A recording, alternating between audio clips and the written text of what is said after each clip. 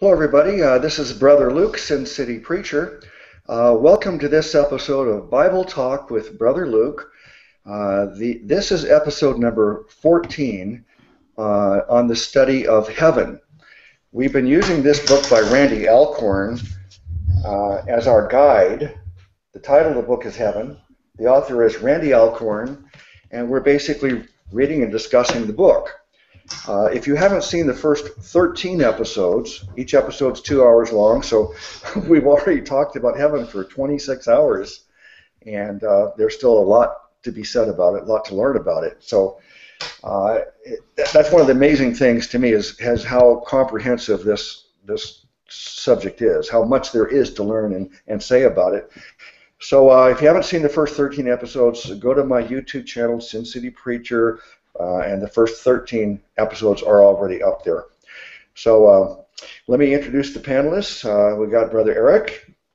Hi, everyone. Jesus Knight 72. Glad to be here, as always. Okay.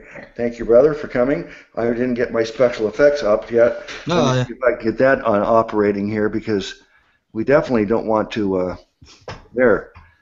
We don't want you to be uh, introduced without the traditional uh, you know, there's millions of people watching, and I know that they all want to applaud you for being here. Next, we got Brother Austin. Everybody, this is Austin. My channel's name is Austin Bell. Do ministry called Christ Ministries, and glad to be here as always. Okay, thank you, brother.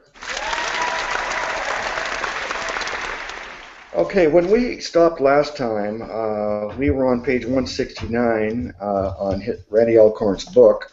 So I made a note where we left off. Let me just start reading that and see if we've got our, our thoughts on, on his comments. Uh, when Christ died, he might have appeared to shed his humanity, but when he rose in an indestructible body, he declared his permanent identity as the God man J. I. Packer writes, quote, By incarnation, the Son became more than he was before, and a human element became integral to the ongoing life of the uh, triune God. Christ glorified humanity, which is the template, template and link for the glorification that is ours, must go on forever. Unquote. This is a mystery so great it should leave us breathless. That's a very interesting uh, premise, isn't it?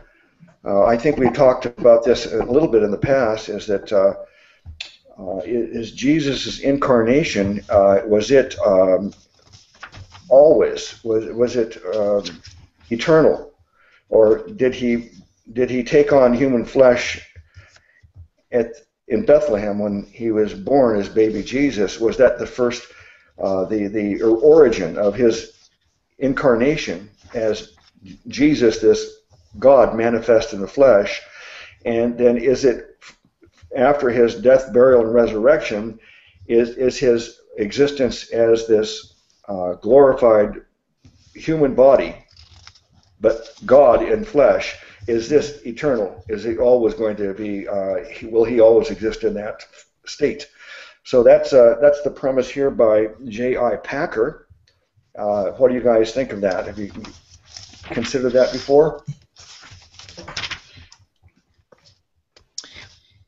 I have heard that mentioned before, and I've heard two different I've heard two different opinions about that in eternity. That one was that uh, obviously, like you just stated, Christ was going to remain um, uh, the separate personage of him in the flesh through through the millennium, then into eternity. Um, and then I've also heard another opinion that um, that the Son and the Father and the Spirit will become one in eternity, and we will just know Him as one God. Again, you know, as one God, there will be no need for the separate personalities of Him. That you know, so, I mean, yes, I have thought about that. Yes. Mm-hmm. You have any leanings on that? Well, we know we know separately in the millennium that Christ is going to uh, stay as we know Christ. Um, we know that. I mean, not a lot about eternity is really revealed. Um, it it kind of goes along the line of the concept when there's a new heaven, there's a new earth. Um, that things will all be new, and so that relationship can can turn can kind of continue to where people say in the garden God walked with Adam and Eve, He talked with Adam and Eve. That you know, so it would go back to that kind of relationship where there's just just knowing God as the one as one entity. Then you know, Father, Son, Holy Spirit will be one in the in the Father, and um. I guess they both have credence. I mean, they're they're both reasonable. I don't see anything unreasonable with either uh, hmm opinion. Okay, let's get Austin's reaction to that. What, what do you think of that premise, Austin? Uh, this is meaning a new relationship. Is this? Am I correct? No, we're talking about, uh, you know, the, bod, the Bible says God is spirit, and yet that we go, we know that God became flesh, um, became a man named Jesus Christ, and He died for our sins. He was buried. He uh, was raised from the dead. He has a glorified body, and He ascended uh, up to uh, to uh, heaven, the intermediate heaven, where He is now, and He's sitting at the right hand of the Father. So this is what we know from Scriptures. Uh, and we are assuming that he still exists in a physical form as this God made flesh right now in the inter- intermediate heaven. Uh, do you think that he will continue to exist in the flesh throughout eternity, and or and also do you think that he was God in the flesh all from the beginning of time and uh, even before the incarnation of baby Jesus? Uh, I'm not exactly sure yet. I'll I'll think about it and I'll I'll hold my thought till the end. Mhm. Okay, I think that uh, Randy's going to have, as we go through here, uh, some references for to con- on this uh, for us to consider. Uh, but my first question would be: Can you think of anything in the scriptures that tells us that Jesus is going to lose his uh, flesh at any point in the future? No, I mean, uh, no. No. So because because I don't know of any scripture that says he will no longer exist in the flesh, then I don't know why it's uh, you know we, I don't think we should assume that, that that is the case unless unless it says somewhere or at least alludes to it. Yeah, Right, and I don't and I Go ahead. Uh, no, I was just going to say if I had to be pinned down to a to a you know an answer, I'd say I do lean more towards that. I mean, the idea that he we know he is separate during the millennium, then into eternity. I mean, it says there's going to be a new heaven and new earth.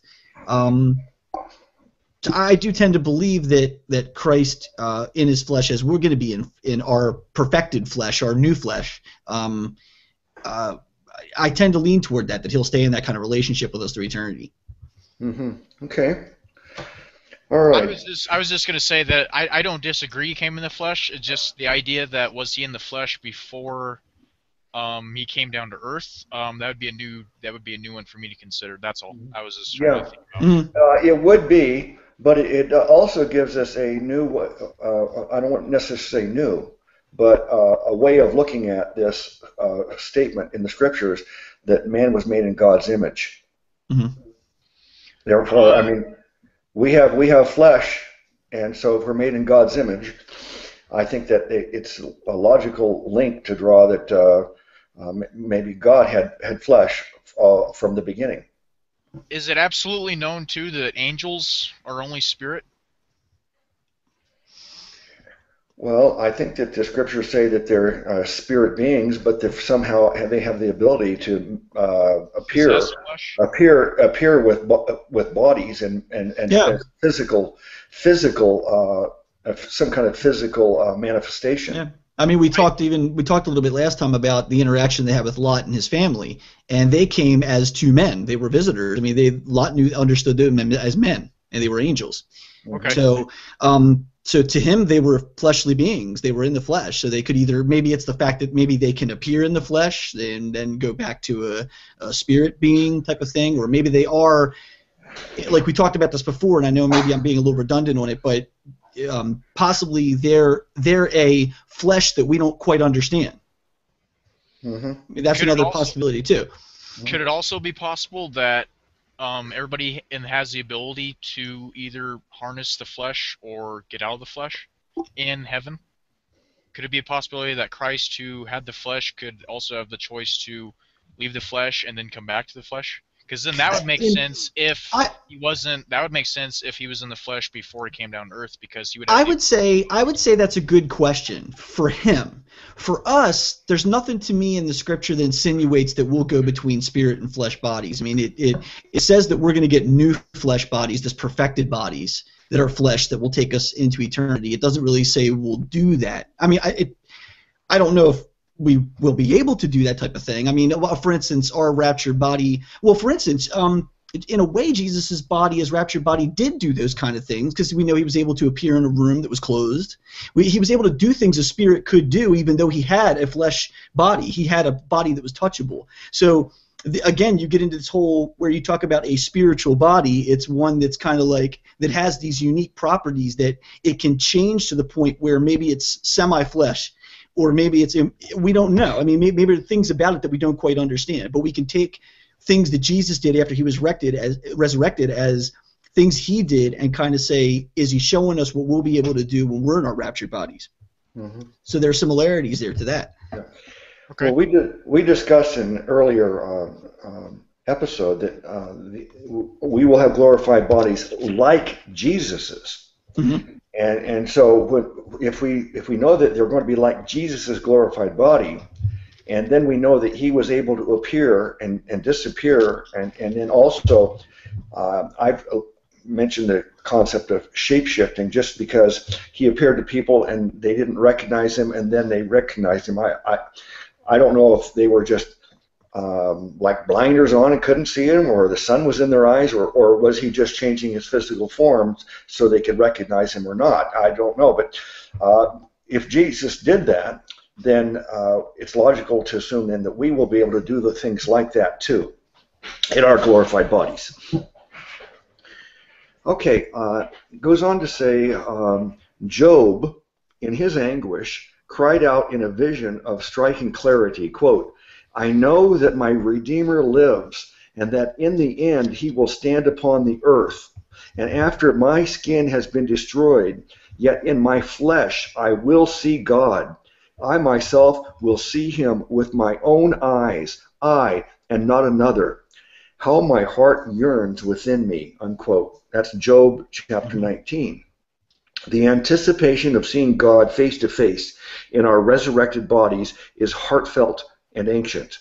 Quote, and we all, with unveiled face, beholding the glory of the Lord, are being transformed into the same image from one degree of glory to another, unquote.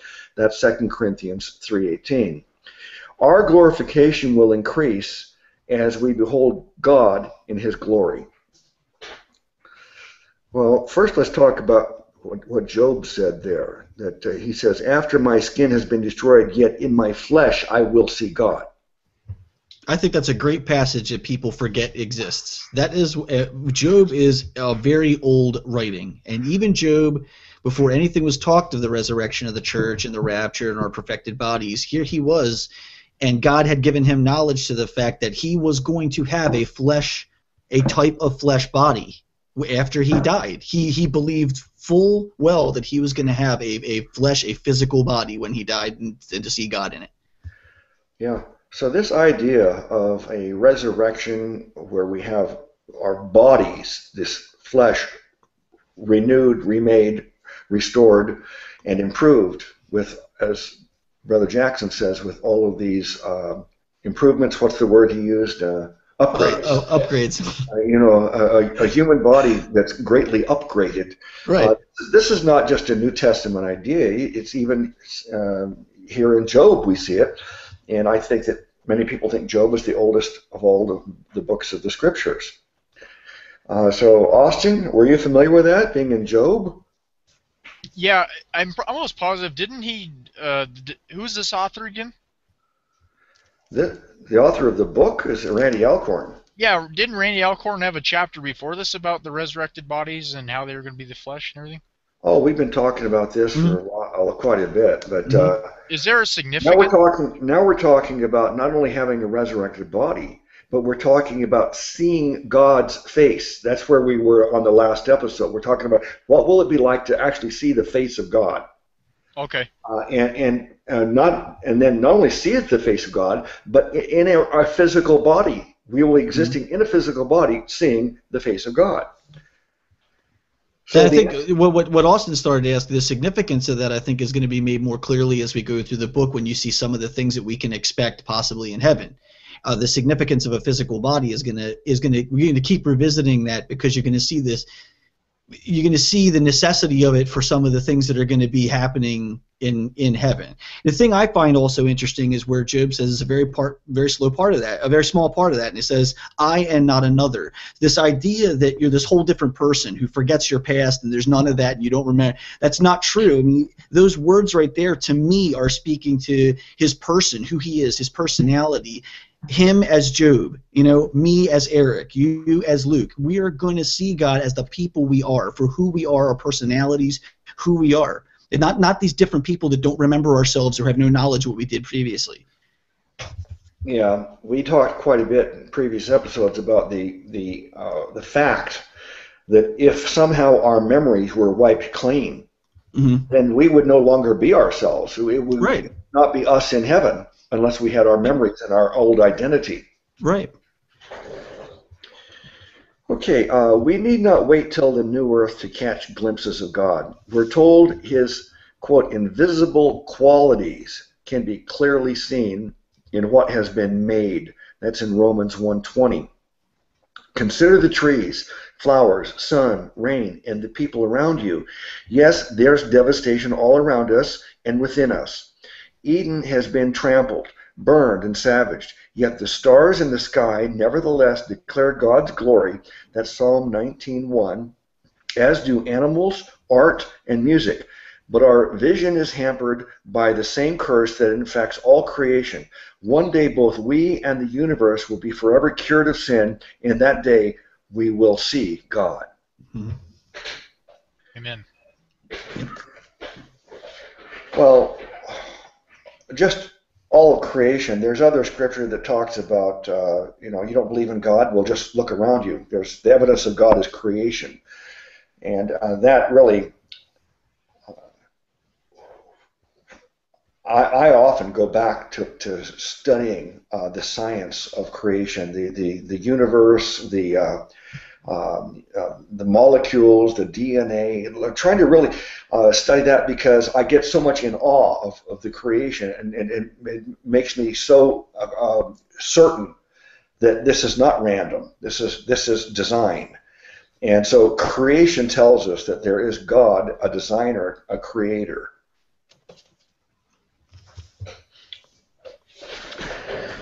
Okay. Um, what is the essence of eternal life? That they may know you, the only true God, and Jesus Christ, whom you have sent. John 17, 3. Uh, our primary joy in heaven will be knowing and seeing God. Uh, when you think of all the things uh, we have to look forward to in eternity, uh, we're going to be going through all those things uh, for you know the foreseeable future in this book, talking about uh, great detail all the things uh, that we'll be will be doing and experiencing in eternity. But Randy's making the point that actually seeing God is going to be far greater than any other experience that we can we can ever have. I'm skipping ahead here to one page 173 down to the third paragraph, Eric. It says Eden's greatest attraction was God's presence. The greatest tragedy of sin and the curse was that God no longer dwelt with his people. His presence came back in a small but real way in the Holy of Holies, in the tabernacle, and the temple. After the exile, Ezekiel saw God's Shekinah glory, his, his visible presence, leave the temple and the city, a sad day for Israel. That's Ezekiel chapter 11. God's Shekinah glory returned in Christ, who tabernacled among us. That means took up temporary residence. Quote, we have seen his glory, unquote, 1 John 1.14. I mean, John 1.14. God's glory resides now in his people. The temple he dwell he indwells. 1 Corinthians 3:17. But one day Christ will come and make a new people, a new earth, and a new universe in which we will dwell among his people fully and freely. So the first point you're making there is that the greatest attraction of um, was God's presence in the, in the Garden of Eden. Hmm. I mean, you think Garden of Eden, it's paradise. I mean, how wonderful could it be? It's we probably can't even begin. We we we look at. I got married in Hawaii, and it's the most beautiful place I've ever seen. I, uh, on the island of Kauai, and Kauai is called the Garden Island because it's it's one of the rainiest places on the earth, and because of all that rain, it's just a tropical paradise. It's by far the most beautiful place I've ever seen, and yet that I think is a shadow, just a, a you know, a, a, like a dim view of what Eden would be like. Uh, Hawaii is like, you know, just uh, how could I say it? I hate to use that example of steroids again, you know, but, but, we, we heaven, understand. heaven is like how uh, heaven would be like Hawaii on steroids. It's just it was like many many times greater, many multiples, or to the to the tenth power, you know, of, of how much better it'll actually be for the garden. And yet, Randy makes the point here. He says that God's the greatest attraction, the greatest thing in the Garden of Eden, in paradise, was God's presence. And yet, we will have God's presence living among us in eternity. What about that idea that uh, uh, the Shekinah glory went with Ezekiel? I, I, guess I had forgotten about that. Could, let's look up Ezekiel. Could you find that, Eric? Ezekiel 11:23. It says, after the exile, Ezekiel saw God's Shekinah glory, his visible presence, leave the temple and the city. Sure. Uh, Ezekiel 11:23 says, "And the glory of the Lord went up from the midst of the city, and stood upon the mountain which is on the east side of the city." Hmm. So there's not. Let me go a little further. Let me try and go. I just it pulls that one verse out, but let me see kind of what it says before. Because the verse before 22 says, Then did the cherubims lift up their wings, and the wheels beside them, and the glory of the God of Israel was over them above, and the glory of the Lord went up from the midst of the city, and stood upon the mountain which is on the east side of the city. Afterwards the Spirit took me up, and brought me in a vision by the Spirit of God into Chaldea, to them of the captivity. So the vision I had seen went up from me. So this is what you know Ezekiel is speaking of.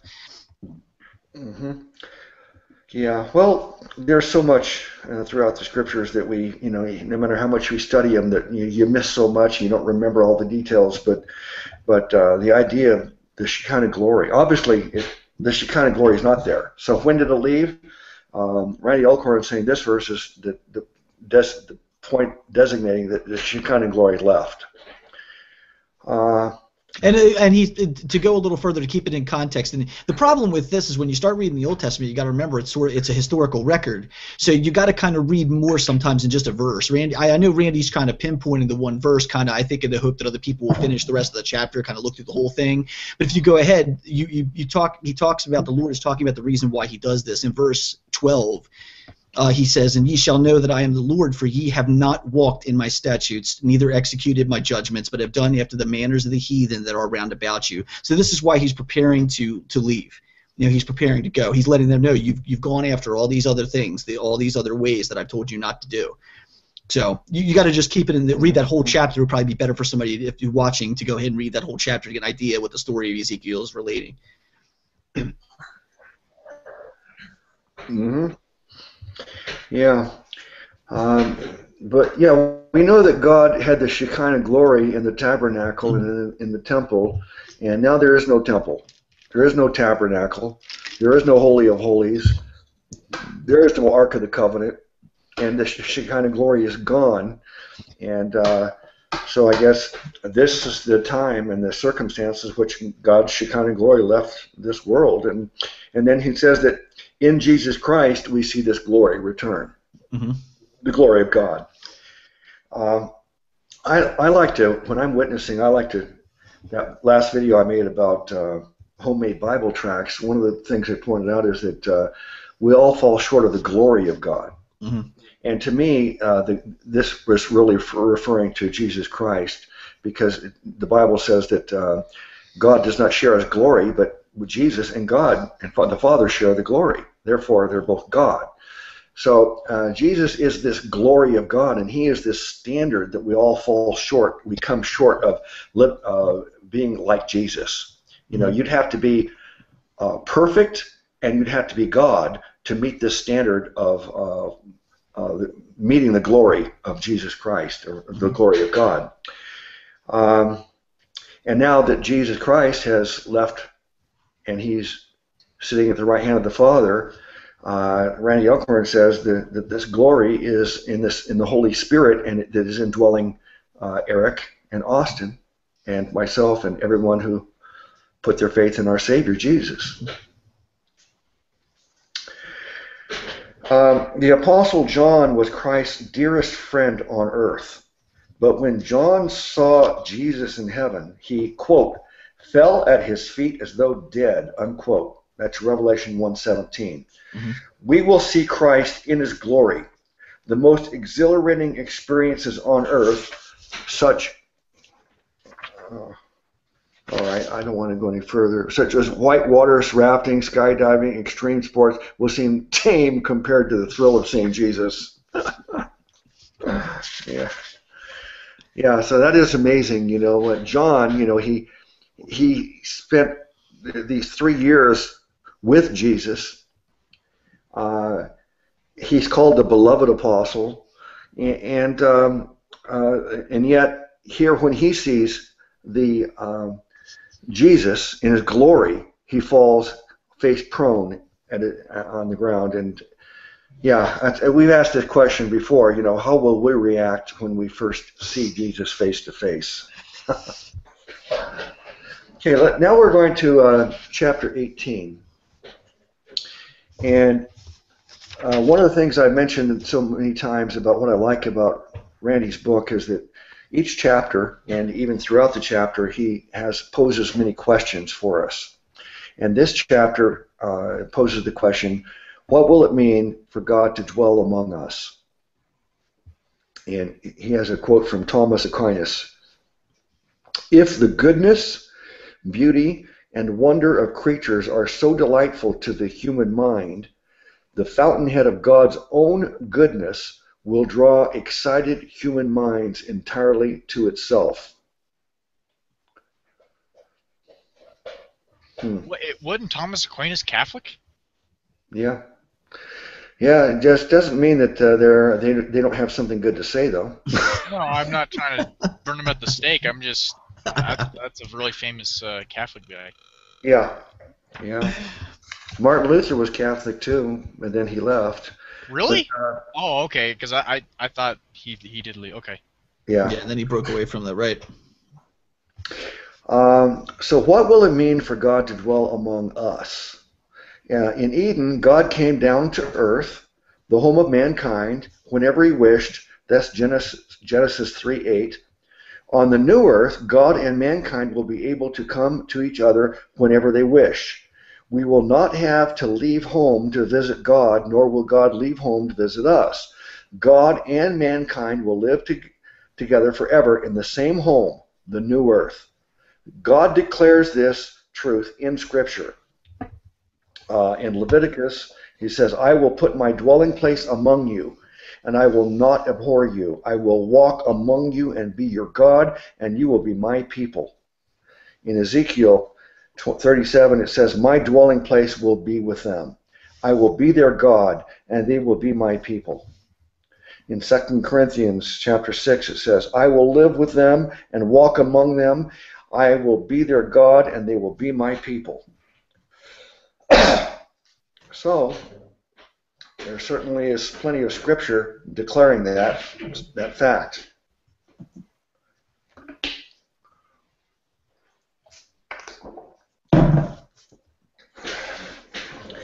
Now, he says, uh, the marriage of the God of heaven with the people of earth will also bring the marriage of heaven and earth. There will not be two universes. One the primary home of God and angels, the other, the primary home of humanity. Nothing will separate us from God, and nothing will separate earth and heaven. Once God and mankind dwell together, there will be no difference between heaven and earth. Earth will become heaven, and it will truly be heaven on earth. The new earth will be God's locus, his dwelling place. This is why I do not hesitate to call the new earth heaven. For where God makes his home is heaven. The purpose of God will at last be achieved. Quote, to bring all things in heaven and on earth together under one head, Christ Jesus. Ephesians 1:10.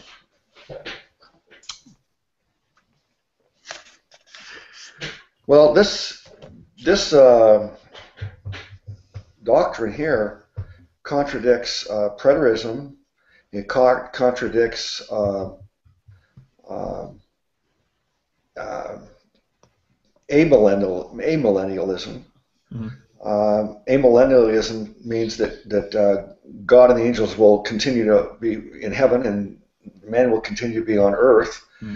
And uh, just the way it is right now, and, and preterism teaches the same thing that uh, that uh, this is what really shocked me when I was learning all about preterism, is that everything's been fulfilled. Therefore, uh, we don't have a rapture to look forward to. We just have we die, we go up to heaven, and they're they they go into heaven. But people will continue being born. Earth will continue going on in its state as it is now forever and ever. And then there's this separation. There's this eternal existence for people who put their faith in Jesus in, in, in this other dimension.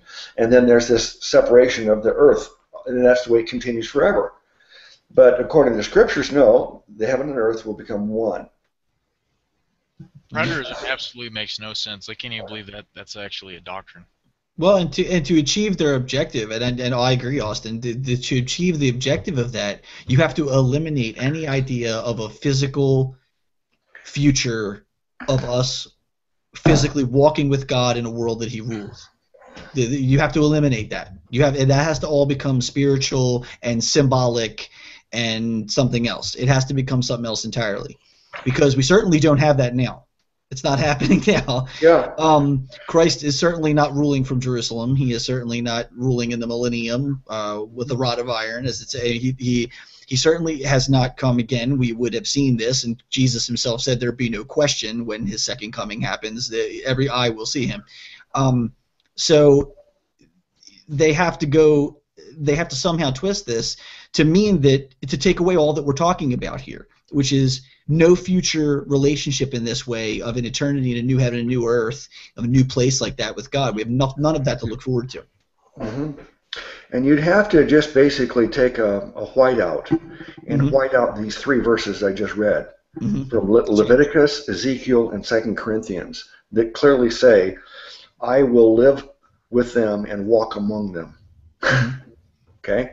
I mean, why do people feel the need to change God's specific words that state something that's very easy to understand? That's not a complex statement. It's not trivial. It's not symbolic. It's not he he just plain says that that's the way it's going to be. He's going to walk with us. He's going to be. We'll know him in a very physical way. We'll know him face to face.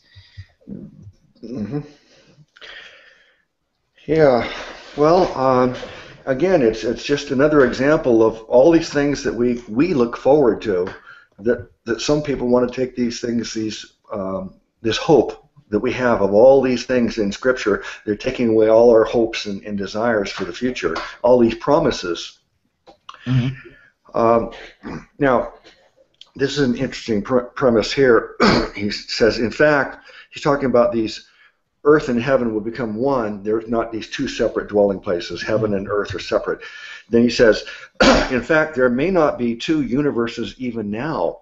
In the divine conspiracy, that's a book. Philosophy and theology professor Dallas Willard argues that there is only one universe and, and it's where we'll live forever. And he excerpts this from that book.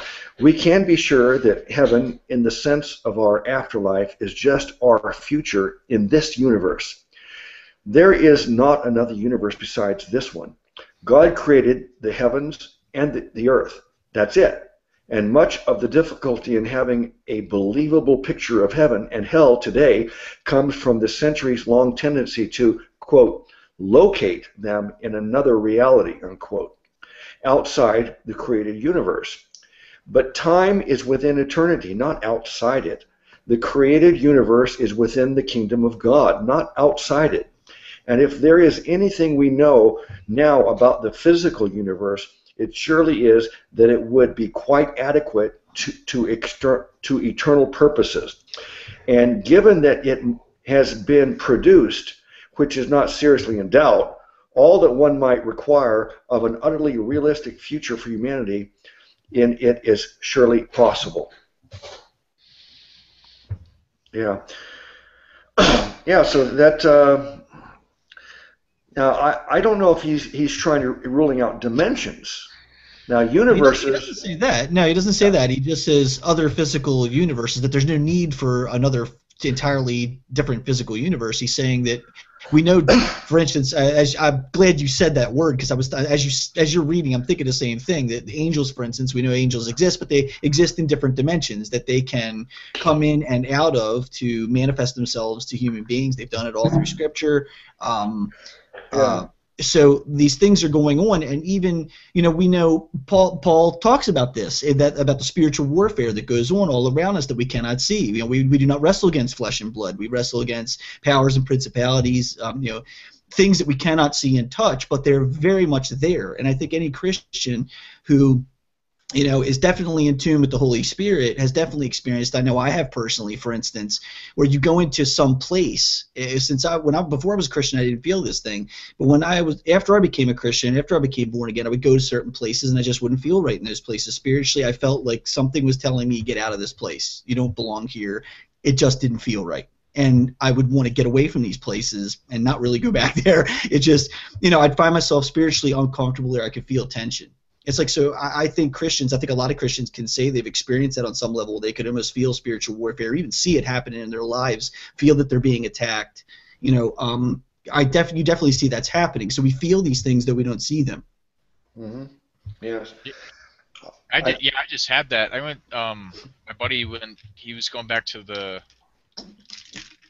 He was on. He was a marine and he was on leave and he was going back to base and he uh, he just got this girlfriend. He was really excited and you know, he, he need, she had a friend coming in, so she needed some, or he needed somebody to go with him. So I was like, yeah, I'll go with you, of course, because he's a cool guy. I would I'd back him up. And then we went to this. Um, I'm not a club guy, and it was the first time I went to one. And man, it was. Uh, it had me clinging to it had me clinging to the, the spirit man it was it's it's a madhouse in there but uh, yeah exactly i i feel i've felt that before well there um, there's also uh, Hmm. Uh, I maybe it was Elijah or Isaiah. There's some Old Testament prophet that uh, God showed him for a moment, uh, open his eyes to see the spirit realm all around him, and he see all the angels who who were fighting for him and, and, and winning this battle because he he couldn't see them. So uh, I don't remember where that is, but uh, in other words, it exists all around us, but we we're blind to it but God can reveal this other dimension uh, that exists right here with us, uh, alongside us right now, uh, and yet we're we don't know it. Maybe sometimes we do sense it, as you said, Eric. We mm-hmm. we can feel it, but we don't see it. it says it might be better then if we think of the location of the intermediate heaven as not in another universe, but simply as a part of ours that we are unable to see uh, due to our spiritual blindness. if that's true, uh, when we die, we don't go to a different universe, but to a place within our universe uh, that we're currently unable to see.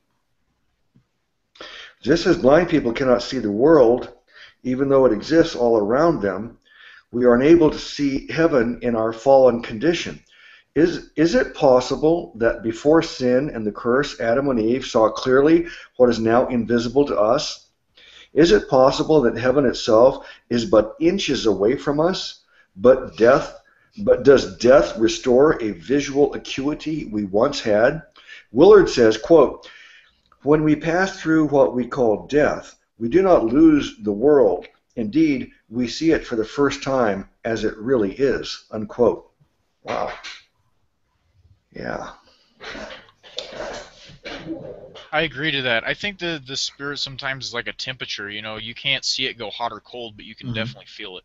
Yeah, I agree, and I, I think there's another side to that too, which is in our in our sinful state as the people we are. You know, we we tend to we tend to think, wow, I'd like to see that. I'd like to actually what I wouldn't give to actually see these things that I believe in happening around me, but I don't think we could take it. I don't think God. There's another reason. I think God doesn't allow it because I don't think it's something we could take.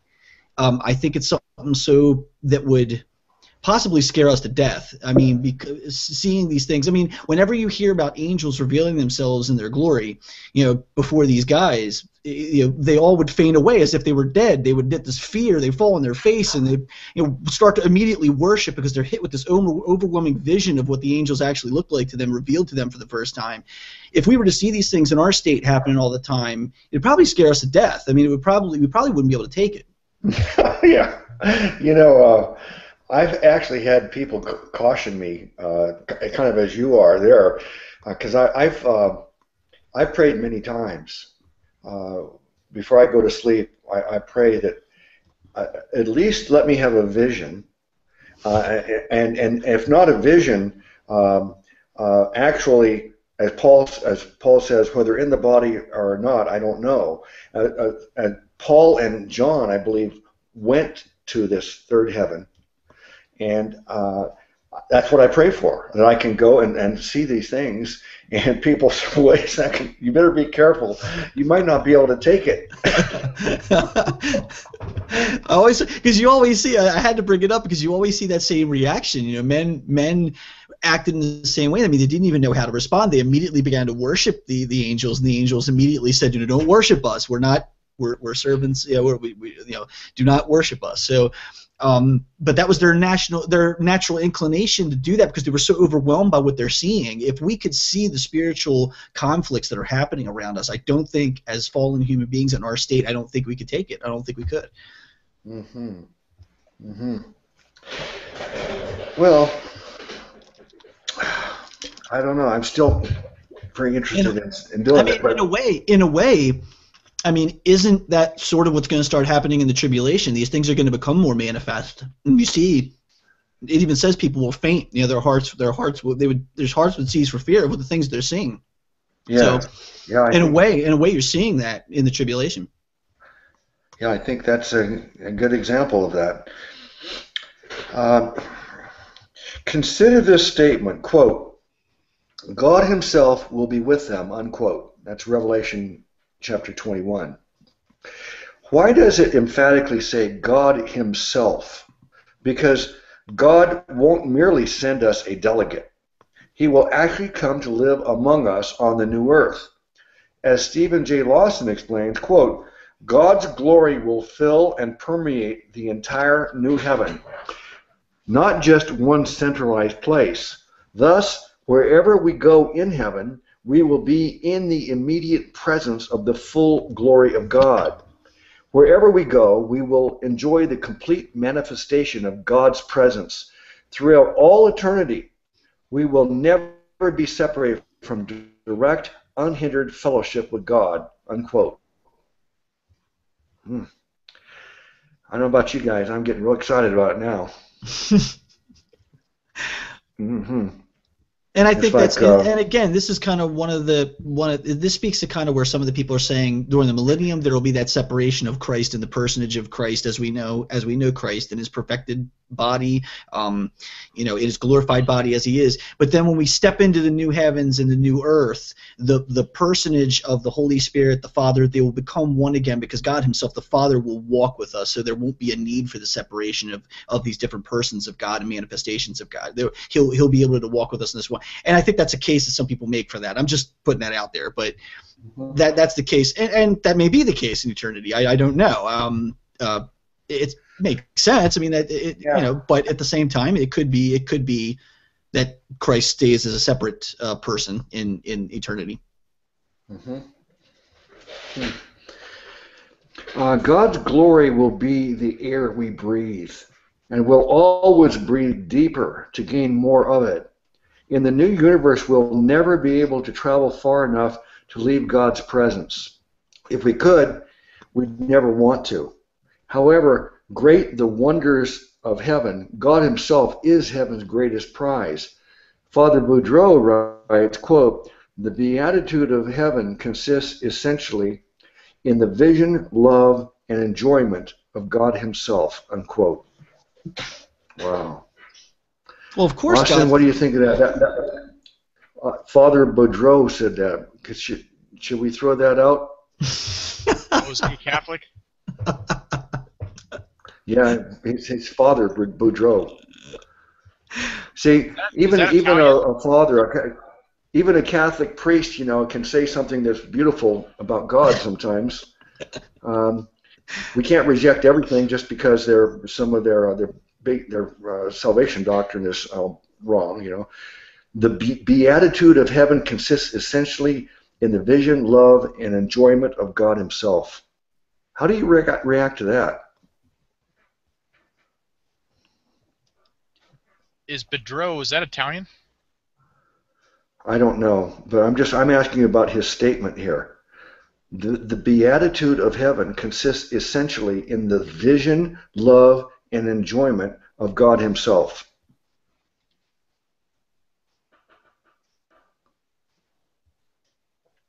I mean, we talk about all these things in heaven that we like. I mean, I talk about how I, I would love to be able to play the beautiful golf courses in, in uh, on the new earth. You know, we talk about uh, all the, the things that we have interest in that we like doing now that we're going to be able to do a lot of these things, and yet, uh, doesn't that all pale in comparison to just being uh, being with God and having this glory of God around us, breathing it all the time? To me, it, to me, it's just a no-brainer. I mean, I mean, God Himself is heaven's greatest prize. That's what it says here. Um, well, yeah, He made it.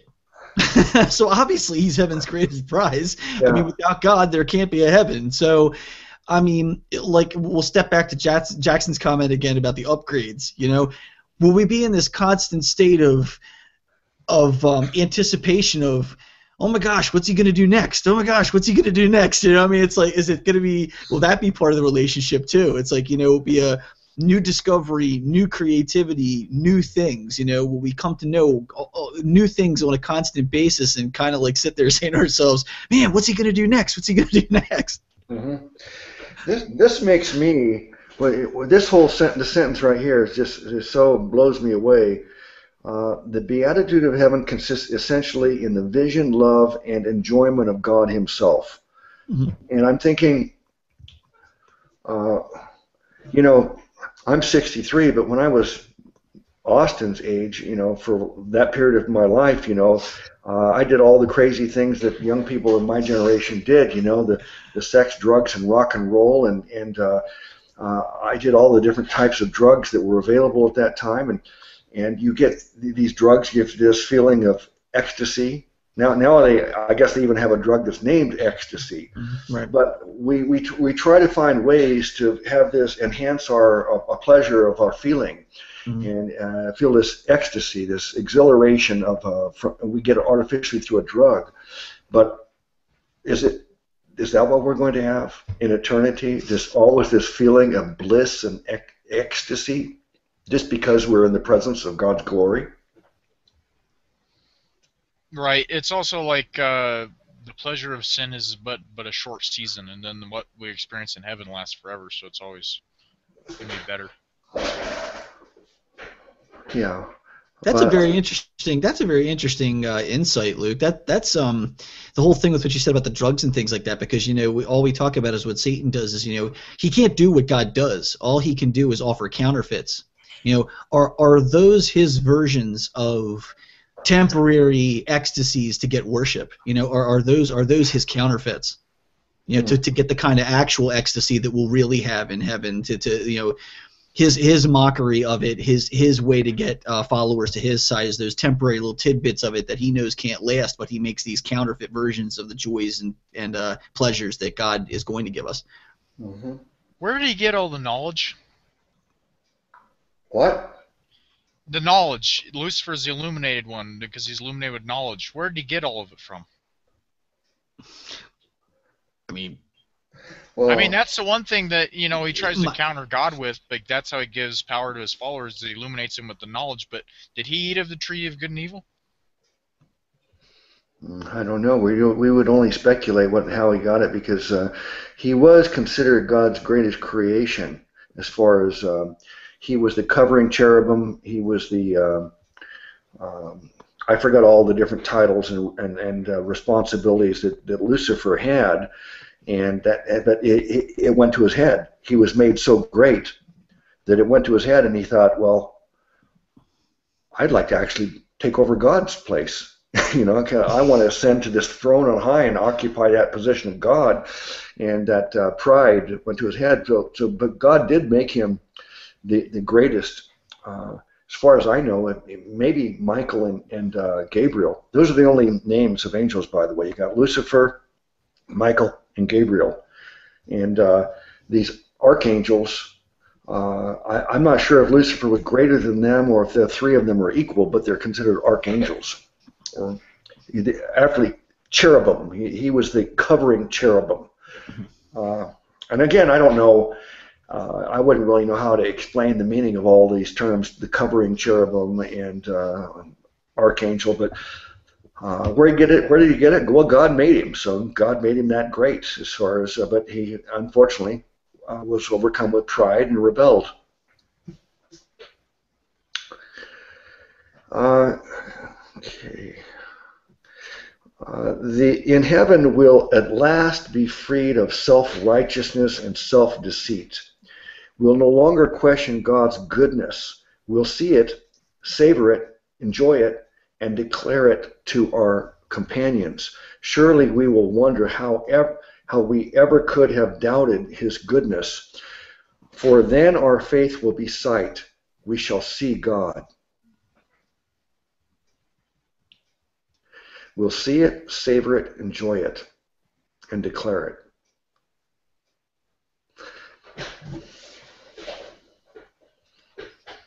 This whole idea of, of being with God and having this glory of God being, it's like, I can't breathe underwater, you know, but imagine the water is God's glory and you're submerged, you're immersed into it. And, and then uh, and that that's how that's how uh, I'm getting the picture here that we will be that is immersed in with God's glory, even inhaling it and breathing it, and just it just will be, um, I guess, ecstatic and bliss. Those are the two. To, to me, I can't think of any better words than bliss and ecstasy. Now, how much? How can you take bliss and ecstasy? I mean, to me, when I think of any moments in my life where I've had this like momentary bliss, I don't want to get too explicit, but you know, there's some times where you get uh, a feeling that is just so so overwhelmingly good, and but could you actually exist in that state all the time?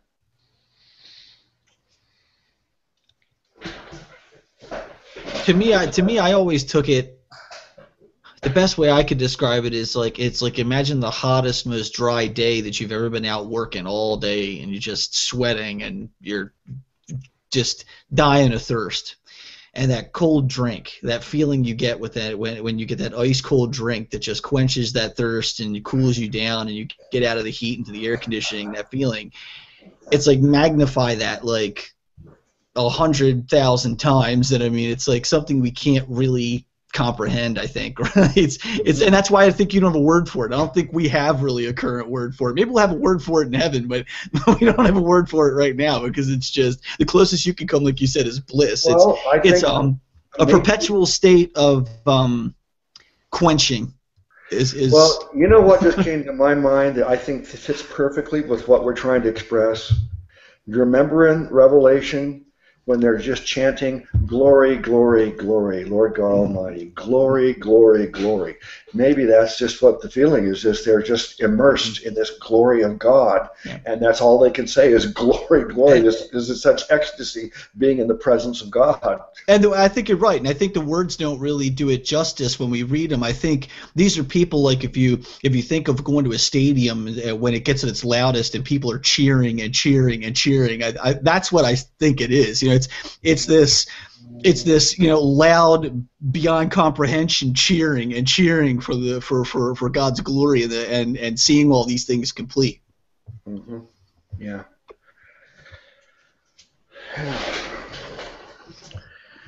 Um, many, many contemporary approaches to heaven either leave God out or put him in a secondary role. Um, there's a book, The Five People You Meet in Heaven, best-selling novel, portrays a man who feels lonely and unimportant. He dies, goes to heaven, and meets five people who tell him his life really mattered.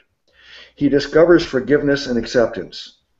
It sounds good, but the book fails to present Jesus Christ as the object of saving faith. Instead, it portrays a heaven that isn't about God, but about us. A heaven that's not about God's glory, but our healing. And a heaven that's not about God's unfathomable grace to undeserving sinners, but our goodness and self importance. Man is the cosmic center. God plays a supporting role. This sort of heaven, uh, of which the Bible knows nothing, is a place of therapeutic self preoccupation rather than preoccupation with the person of Christ. I think he really critiqued him correctly. Mhm. I've I meet a lot of people that uh, read these books, like the five people you you meet in heaven, and there's many other many other books that uh, you know. Um, basically, they're saying this, making the same kind of points. Uh, they talk about heaven and the afterlife, but where's God? Where's where's Jesus? Where's and it, it, it's just all about being with your fr- family, being reunited with your family, or something, or being content, whatever. But there's, where's God? You know.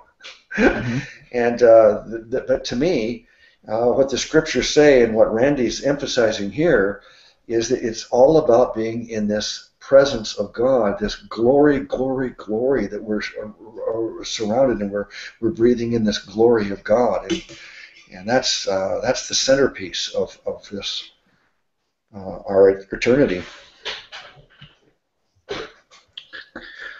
Jonathan Edwards said in a 1733 sermon, quote, God is the highest good of the reasonable creature, and the enjoyment of him is the only happiness with which our souls can be satisfied. To go to heaven fully to enjoy God is infinitely better than the most pleasant accommodations here. Fathers and mothers, husbands, wives, children, or the company of earthly friends are but shadows but the enjoyment of God is the substance. These are but scattered beams, but God is the sun. These are but streams, but God is the fountain. These are but drops, but God is the ocean. Unquote. Yeah, that's uh,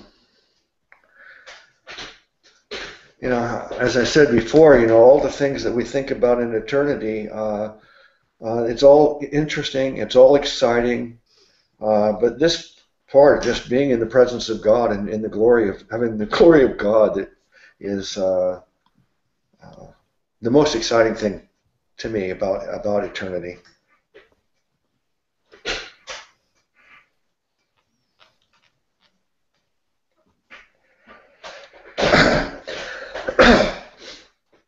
Not only will God come to dwell with us on earth, he will also bring with him the New Jerusalem, an entire city of people, structures, streets, walls, rivers, and trees that is now in the present intermediate heaven.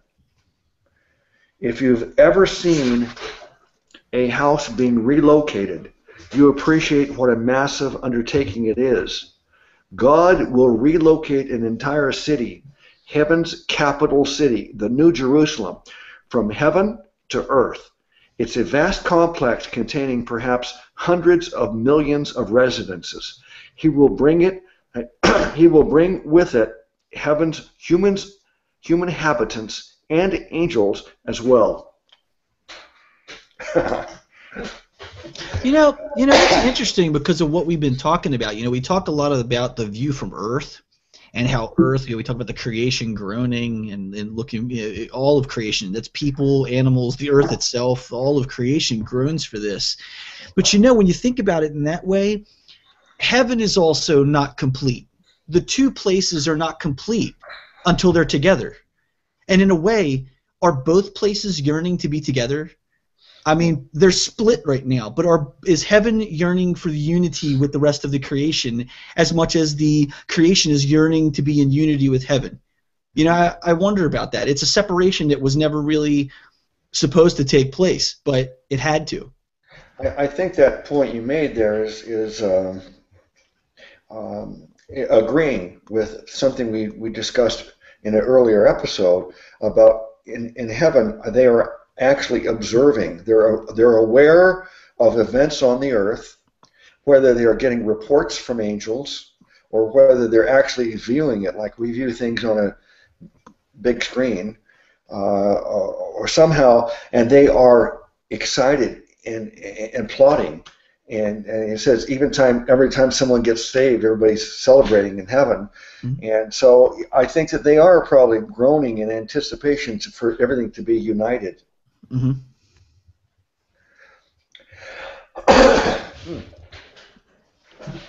but what about this, uh, Austin? This idea of, of, transporting an entire city. You, you, you've seen these big trucks that have a house sitting on it, and they're driving it from one location in the city to a, to relocate the house on a different plot of land. Well, imagine the entire heaven Jesus is preparing all these mansions. Austin, he's prepared your mansion for you, and he's got one for me and Eric, and he's, he's going to end up like transporting it, relocating it right here on the earth, and this whole city, and all of the, the, the saints who are saved, and then the angels, and they're all going to be transported, relocated, like like everybody be coming on a giant bus ride to come here, you know. it says he's physically going to do it. Of course, it's physical. It's it, it's it, it exists in a physical state now. No, we, no, no. I mean, like he's physically going to move it, everything, and he's just going to speak it, and it's it's going to be. Well, whether he moves it by speaking it or or some other way, it's going to be moved. It's going to be relocated. Mm-hmm. Now he's just using the example of putting it on a bus or, a, a, big, uh, you know, a, a 18, what is it, 16 wheeler or something. That's just a human way of explaining it. But however he transports it, whether he just speaks it or or some other way, the idea is it is a city that exists and people that exist right now in this intermediate heaven, and it's all going to be relocated and placed here on Earth as the capital. Mm-hmm. What do you think of that, Austin? Yeah, I mean it's amazing in its in its essence. Yeah, I mean it, unbelievable enterprise. I mean just the the the, the vastness of this this uh, F, this this project is pretty amazing. But of course, when we compare that to just the, all of all the universe of creation. It's like people tell me, I've used this example many times in the past when people question uh, Jonah and the whale or Noah and the ark, and I say, why do you question those miracles? Do you, do you believe Genesis 1 1? What, what's that? Uh, in the beginning, God created the heavens and the earth. If that's if you believe that, if you believe God could just create the heavens and the earth, all of the universe, just create that by speaking it, then why do you why would you ever doubt any of the other miracles? They're minor in comparison. So this relocation of of, of heaven to the earth, it's really minor, really project to take on compared to the creation of the heaven and the earth. Amen. It appears that God has already fashioned the New Jerusalem. Quote, um, He has prepared a city for them, unquote. That's Hebrews chapter 11. It doesn't say that God will prepare a city or even that He is preparing it, but that He has prepared it. This suggests that the New Jerusalem, complete or nearly complete, is already there in the intermediate heaven. When God fashions the new earth, he will relocate the city from heaven to the new earth. It's possible that those in the intermediate heaven are already living in it. Or it may be set aside, waiting simultaneous habitation by all its occupants when transferred to the new earth. Imagine the thrill of beholding and exploring God's city together. And that's something I, I talked about earlier. You know, half the fun of this whole thing is, and this is where God comes into it too. It's not just us experiencing these things, but it's experiencing all these things with others and with Him. I mean, who likes to, who doesn't like to go on a great adventure and not share it with somebody? I mean, you, you want it whenever, like I said before, if you wanted to take a great trip and it was just like the most amazing trip you ever had, what's the first thing you want to do? You want to come back and want to tell people about it. You want to tell them you want to go there. You want to go, you know. It's the same thing. It's the same thing with that. It's not just enjoying these things; it's enjoying them with God and enjoying them together. I mean, it's it's going to be a great because you know, let's face it. On Earth, unfortunately, most of the things we deal with in this life is stress and work and things like like that. And those are most of the things that we deal with in life. You know, when's the next bill coming, or when's it? You know, vacations and happy times are kind of a lot of them are, are small things sometimes here and there that we get little tidbits that we kind of hang on to because we deal with a lot of bad things in the world, you know. So it's like you're not going to have that in heaven. It's going to be a totally different experience. It'll be nothing but experience these wonderful, great things together. Mm-hmm. Yeah, uh, th- just discussing this this move of the intermediate heaven and putting on the earth, just exploring that, how that's going to happen, and uh, is, is is so interesting and exciting to me it just makes me flash back to the comment we got on one of these videos about, hey, two hours on heaven? How could you talk about heaven for two hours?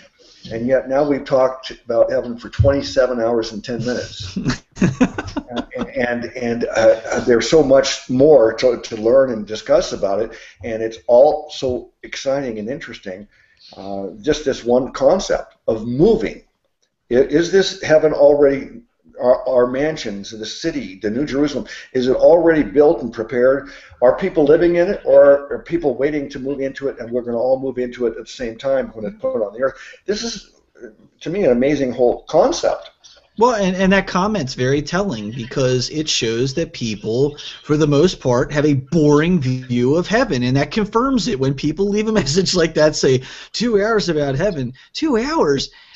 That's a very small. That's a drop in the bucket. I mean, we're talking about the the possibilities of what's going on in heaven. When people make that comment, it tells us the answer to our question we keep asking. You know, do you think people in general have a false idea about heaven? The answer to that question is yes, obviously, and that comment says they do.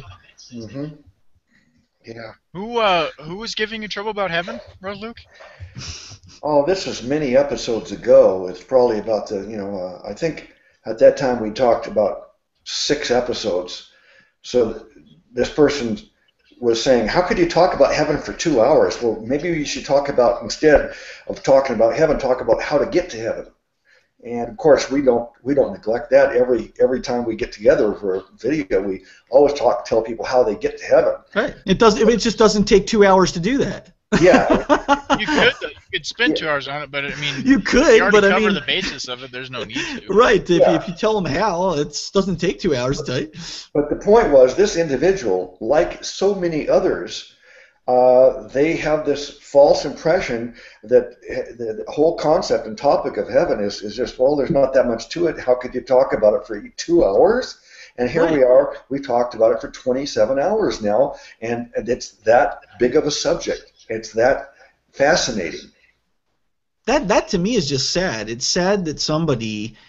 I'm not saying the person's sad. I'm saying that the idea is sad that a person believes that heaven is so short on things to talk about.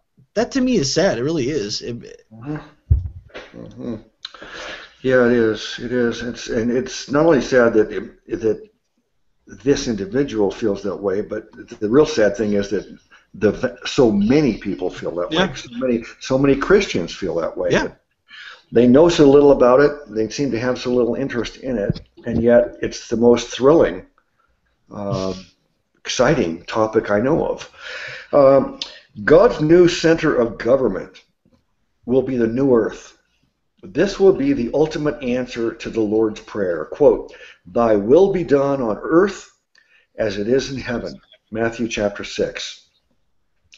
God's will shall be done on the new earth as it now is in heaven. Indeed, the new earth shall be a part of heaven, for the veil between the worlds first torn apart by the cross and Christ's resurrection will be permanently removed. There will be no barrier between earth and heaven or between mankind and God. Hmm.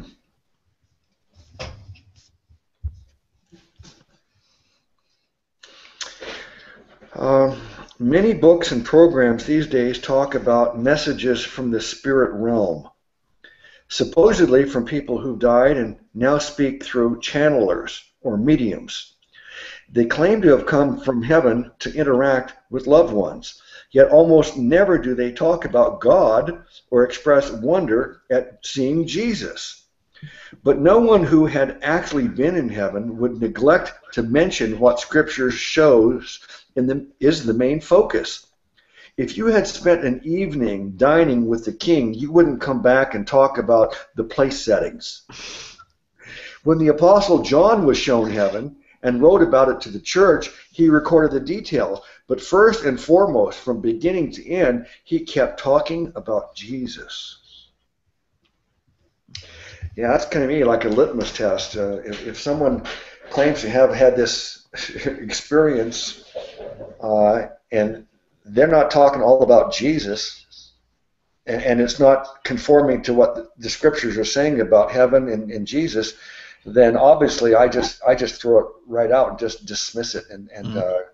uh, yep. know that it's it's uh, it's not it has nothing to do with with, with God and, and, and the truth. Yep.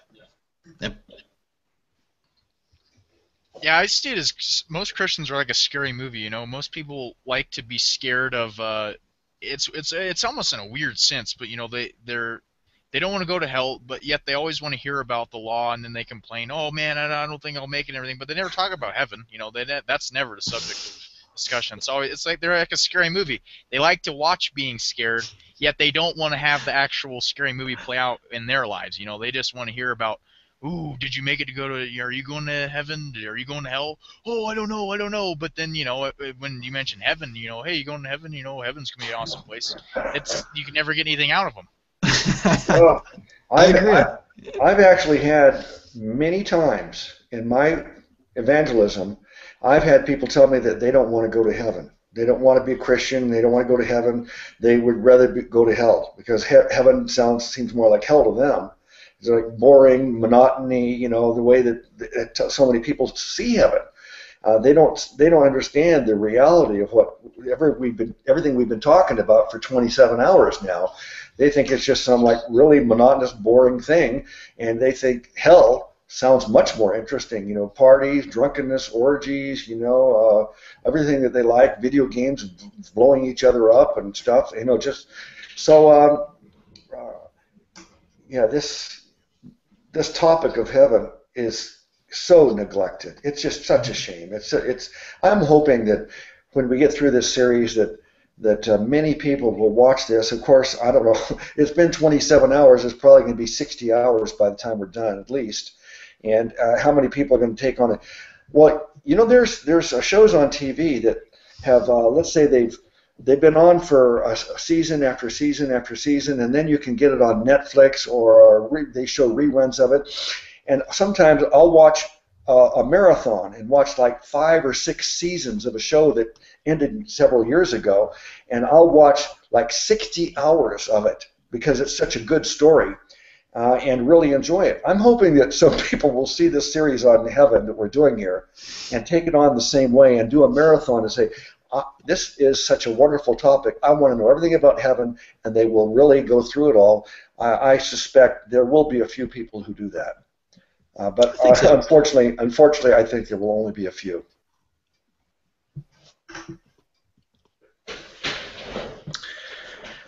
Now, the 1998 movie, What Dreams May Come, portrays heaven as a beautiful place, yet shows it as lonely because a man's wife isn't there.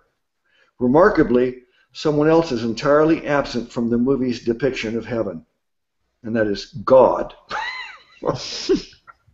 No big surprise there. Wow, man. Yeah. Yeah, it's going to heaven without God would be like a bride going to her on her honeymoon without her groom. A heaven without God would be like a palace without a king. If there's no king, there's no palace. If there's no God, there's no heaven. Teresa of Avila said, quote, wherever God is, there is heaven, unquote. The corollary is obvious. Wherever God is not, there is hell. As John Milton put it, quote, Thy presence makes our paradise, and where thou, thou art is heaven, unquote. heaven will simply be a physical extension of God's goodness. To be with God, to know Him, to see Him, is the central, irreducible draw of heaven. this book has been really, really helpful to me and a, such a great blessing to me. I, I remember when I read it the first time, I don't know, five or six, seven years ago, uh, I was, it probably made me happier than I've ever been in my life. And, and as we're going through this again now and discussing it together, I'm, I'm feeling the same thing. I'm just, I have so much happiness. And I real, I'm recalling and reliving this experience of, of this anticipation, this great desire to be there with God, to be here. God will be here with us. Mm-hmm. And to have this glory and to be able to say glory, glory, glory, and, and just really have this bliss and uh, exhilaration, this ecstasy. So um, it's it's exciting to me. Uh,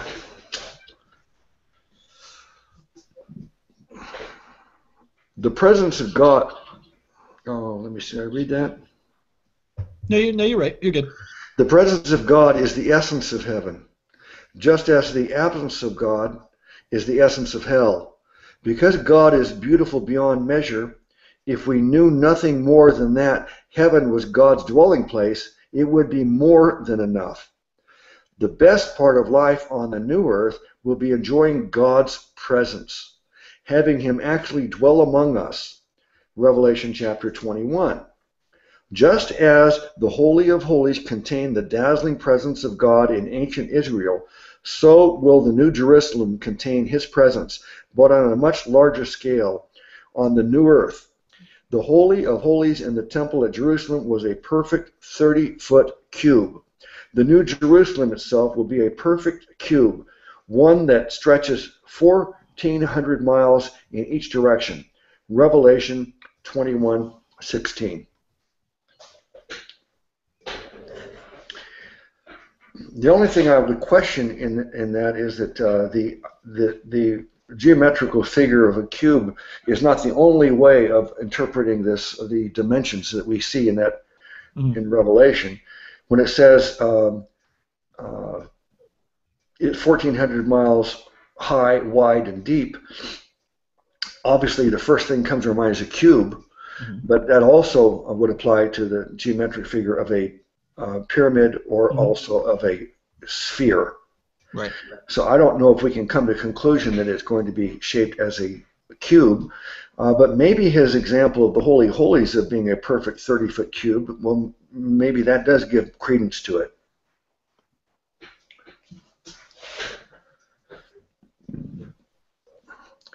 In the New Jerusalem, there will be no temple, Revelation chapter 21. Everyone will be allowed unimpeded access into God's presence. Quote, Blessed are those who uh, may go through the gates into the city, unquote, Revelation 22. Heaven's greatest miracle will be our access to God. In the New Jerusalem, we will be able to come phys- physically through wide open gates to God's throne.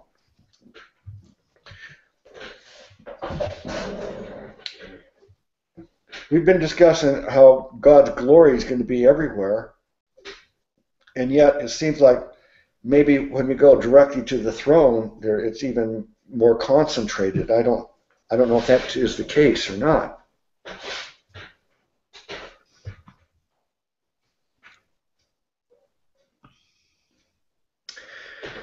Uh, Jesus promised his disciples, quote, I will come back and take you to be with me, that you also may be where I am. John chapter 14.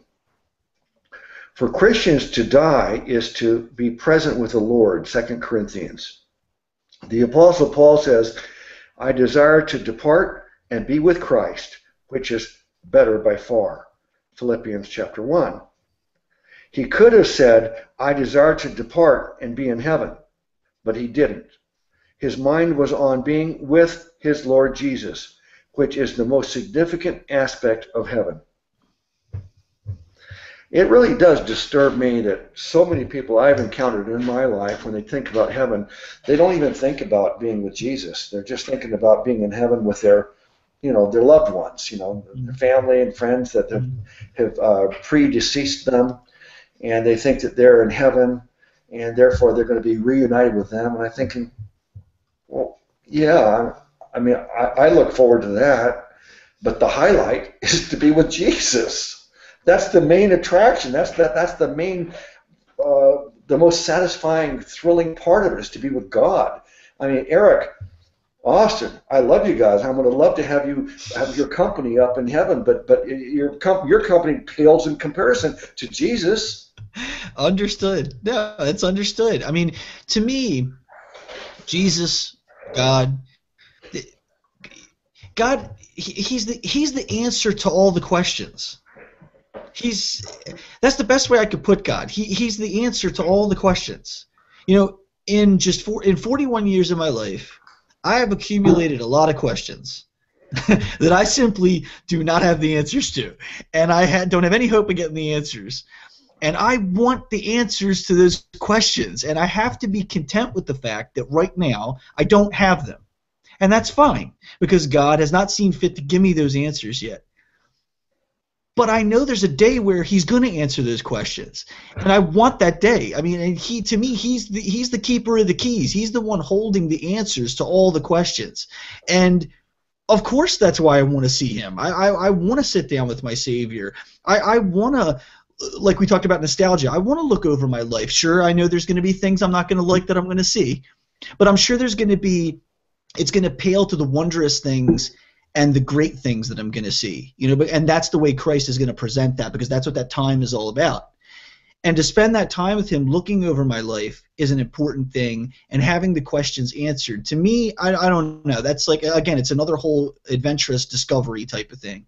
And like I said, he's the keeper of all the keys. He's he's the he has all the answers to the questions, and that to me drives me. I want to know the answers to these questions.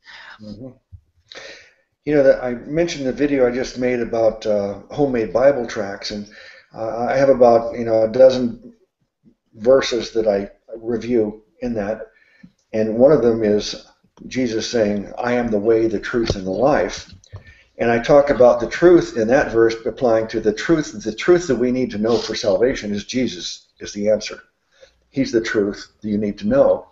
But he, he really is truth in much broader sense. All truth is uh, from Jesus. There's nothing, there's no truth that you're going to get anywhere that doesn't come from Jesus. He mm-hmm. is the truth. Mm-hmm. So the answer to all your questions, the correct, true answer, you're going to get from Jesus Christ. And yeah, there's a lot we don't know, and even in eternity, there's there can always be a lot we don't know because uh, I think it's going to omniscience, all knowledge is an inexhaustible source of data.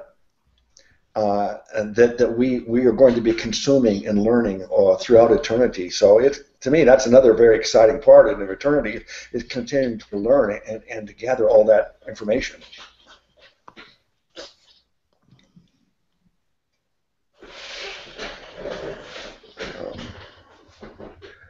Samuel Rutherford said, quote, "O my Lord Jesus Christ, if I could be in heaven with it, without thee, it would be a hell.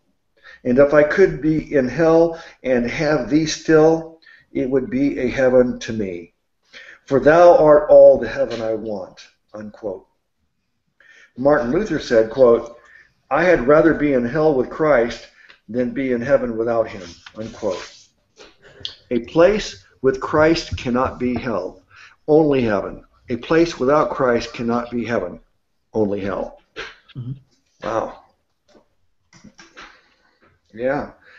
Uh, it's it just it, it just I'll repeat it again. I'm astounded by all the people I've known when the subject of heaven comes up and they talk, talk, talk talking about heaven, there's no mention of Jesus. There's no mention of God. It's only a mention of, you know, my father, my my mother, my my sibling, my best friend. You know, I'll be with them.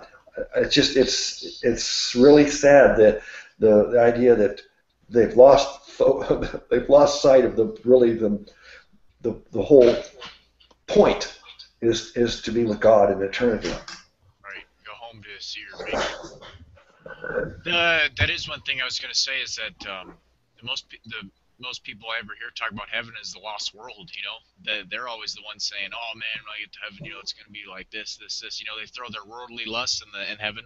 Yet the Christians themselves, the ones who actually, you know, faith alone, the ones that are entitled to it, don't even say anything about it. That's that's a pretty sad thing that the lost the a lost sinner would talk more about heaven than someone who's actually going to go there. Yeah, you Yeah. know, uh, that's something interesting. Austin said the other side of that too is, um, you know, I wonder if that's indicative of their people's faith, and that's what I think is one of the key problems with having a faith that is so steeped in your own works. It's not steeped in what Christ did. It leaves you with this feeling: with are they not eager to see Christ because they are on a constant guilt trip about everything that they do. They don't know the freeness of not being on a guilt trip because Christ takes that away from you. And for me, sure, do I feel guilty about my sins? Sure, I feel guilty about my sins. I mean, anytime I sin, of course I feel bad, you know. Um, but I know that that Christ's way is not to sit there and push me under his thumb and say, "No, you I want you to keep feeling bad about that and keep feeling bad about it." That's not what he does. You know, he takes that away and says, "You know, I wash you of that, I clean you of that, and so you can come into my presence with great joy, knowing that this isn't going to be something that I'm going to club you over the head with when we get together." Do these people who live by the philosophy of, "No, my works, my works, my works, I got to," uh, you know, do they realize their works don't measure up? and that they're not too eager to see him because they're afraid that they're they're constantly in this state that they're afraid their works aren't going to measure up. Mm-hmm. Yeah, the uh, before we started the show today, somehow I got on uh, YouTube and was watching some street preaching videos of, of people who are, uh, you know, a lot of the street preachers I know and I've worked with, and I was watching that, and it just it reminded me again of how uh, they do not emphasize the love of God, and they emphasize the fear of God. Mhm. In fact, they'll come out right and say. Uh, no, God does not love you. You're a sinner. God does not love sinners. And, and uh, they, I've gotten in arguments with them in the past when I'm telling people how much God loves them, and they say, "Don't tell them that. Tell them God Yeah. hates them because they're a sinner." But it seems to me that the people that assume that God loves them are the lost people. They are more, much more likely to think, "Well, God loves me. God loves me," you know, uh, and think everything's okay because God loves me, and that's true. God does love them, but everything's not okay until they put their faith in the Savior. Okay? Uh, that's the part that they've left out. They understand, yeah, God loves us all, and and and and He died for all of our sins. But you can't get eternal life unless you put your faith in the Savior. So they they, they missed the most important part. But these uh, a lot of Christians, they they they are not uh, emphasizing or uh, teaching, sometimes even purposely omitting this the the fact that God loves us so much that He gave us His only begotten Son. That that uh, uh, God God is uh, uh, loves us in spite of our sin. Even though we're while we're yet sinners, Christ died for us. That's, That's the how key. God loves That's us. the, I knew Austin was going to jump on it too. I knew, that's Yeah. the key right there. When people come out and say things like that, I hate when people say things like that. God doesn't love them They- because we did. The world did absolutely nothing to deserve Christ coming. There was nothing that they did to you know that, that the world suddenly collectively came together, did this wonderful thing, and everybody was fell in fellowship and love. And God says, "Well, now because you've done that, I'm going to send Christ." to me." No, it's that while we were still sinners, Christ died for us. He did this, and and what you said, Luke, is something I use all the time. I said Christ doesn't love us because of what we do. Christ loves us and forgives us despite what we do. And that's the real love of Christ. It's that he forgives us as long as we accept him because until the day we die, we're constantly flawed. This blows the idea of living holy or or living perfect and sinless blows it out the door. You know, he his love for us isn't that he died. It covers the fact that we can't cover it and that he does that despite who we are, not because of something we did.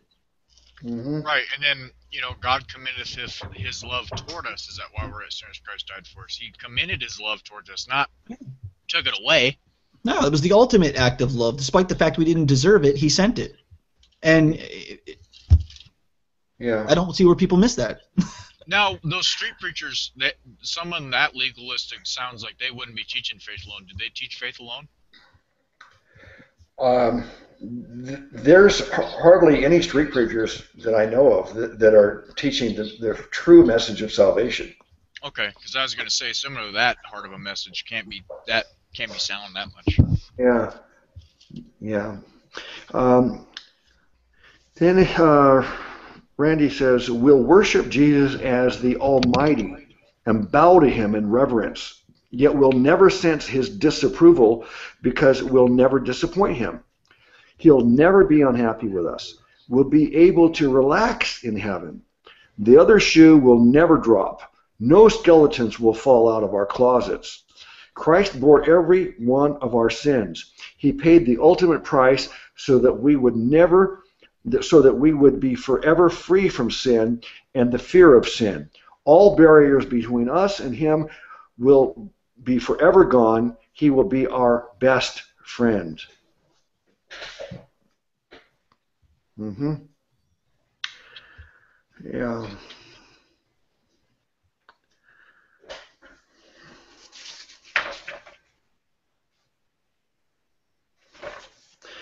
When Jesus prays that we will be with him in heaven, he explains why.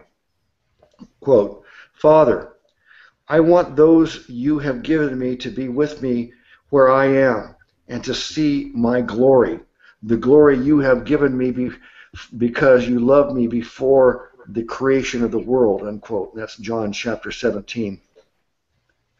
When we accomplish something, we want to share it with those closest to us. Likewise, Jesus wants to share with us his glory, his person, and his accomplishments. There's no contradiction between Christ acting for his glory and for our good. The two are synonymous. Our greatest pleasure, our greatest satisfaction is to behold his glory.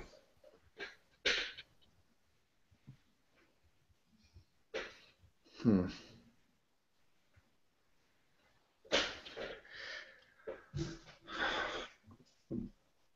Yeah. I'm really anticipating what that's going to be like. If we can, know, I can only imagine. You know, I get back to that song again when we first see Jesus face to face, and we we we are confronted with the glory of God, Jesus Christ, and uh, you know, I, I can only imagine what it's going to be like. Uh, but I, I can I cannot imagine anything greater than that. Christ's desire for us to see His glory should touch us deeply. What an unexpected compliment that the Creator of the universe has gone to such great lengths at such sacrifice to prepare a place for us where we can behold and participate in His glory. Jesus indwells us now, and perhaps He will then, but He will also physically reside on the earth with us. Have you ever imagined what it would be like to walk the earth with Jesus as the disciples did? Have you ever wished you had that, that opportunity? You will on the new earth. Whatever we will do with Jesus, we'll be doing with the second member of the triune God. What will it be like to run beside God, laugh with God, discuss a book with God, sing and climb and swim and play catch with God? Jesus promised we would eat with him in his kingdom. This is an intimacy with God unthinkable to any who don't grasp the significance of the incarnation. To eat a meal with Jesus will be to eat a meal with God. I, throw the pigskin around with Jesus is going to be pretty amazing. You know, so I'm, I, am glad, Austin. I'm glad you said that because it's like Luke talked with like playing golf with Jesus or or whatever. You know what? This and this puts into perspective why the focus of heaven has got to be mostly Jesus. It's got to be mostly being with God. God is like the best friend you ever had ever in your existence. He's your absolute best, unquestionably best friend. He will never stab you in your back. He's never stabbed you in your back. He has given his life for you. He's done, no friend or family member on earth has ever done all the things that God has done for you. Ever. Amen. Now, now, who do you most like to share things with? your best friends, your friends, our brotherhood, our, our brotherhood here. We love sharing things with each other. Like you said, Luke, we get off the show and we've had some of the best conversations we've had after we get off and we're talking and we talk about a whole bunch of things. We just fellowship and just on a friendly basis, you know, as family, you know, as brothers, we talk. Well, imagine reliving your going over your whole life experiences and then future experiences with God, your ultimate best friend, the, the, the, the best friend you could ever possibly have. That's going to be a really cool experience. I mean, that's going to be sharing things with a person that you know legitimately is eh, deeply involved and most deeply involved in your life than anybody ever has been and is the most excited to share these things with you in your experiences and your personality eh, more than anybody else in your life. I mean that that right there is is an amazing thing to experience with God. Yeah, he's basically cheating. He's everything. He's your best friend. He's the the best person you go to get advice. He'd be the best person to go to yeah. for anything. He'd be there for you. I mean, it's he's there in everything, and he fills every position. Yeah. So he's a person. He's definitely the person you most want to share all these experiences with. Yeah. Uh, Jesus said that uh, um, uh, at a certain point, he said, uh, "No longer will you will I you be my disciples, but you'll be my friends." I forgot the verse and how it's phrased exactly, mm-hmm. but it's in John, yeah. And and, and then he, then he goes on to say uh, he would lay down his life for us. He says, "There is no greater love than to give your life, life for, for your friends." Right. And so, yeah, this is he is emphasizing this idea that we we we can embrace him as our friend, mm-hmm. our God, our Creator, our friend. Uh, just there's there's so much to this relationship. uh, and then let's say that there's a million people, or a billion people that are saved in in eternity. I don't know that, what the number is going to be, and yet Jesus somehow is going to be able to have this relationship with every one of us, even I think even simultaneously. It's not like there's going to be a, you take a number at the deli. It'd be a long uh, wait. Yeah. now serving four million five hundred. Yeah. yeah. Everybody take a number, wait for your turn to talk to talk to Jesus. No, it seems like any at all times, anytime we'll have access to Jesus. Everybody. So somehow he'll be able to do this because he's God. He can he can do that. He can be uh, omnipresent. Wow, that's exciting. It is. Jesus said, quote, It will be good for those servants whose master finds them watching when he comes. I tell you the truth. He will dress himself to serve, uh, will have them recline at the table, and will come and wait on them. Luke chapter 12. This is an amazing passage. Jesus says that the master will do something culturally unthinkable, become a servant to his servants. Why? Because he loves them, and also out of appreciation for their loyalty and service to him. The king becomes a servant, making his servants kings.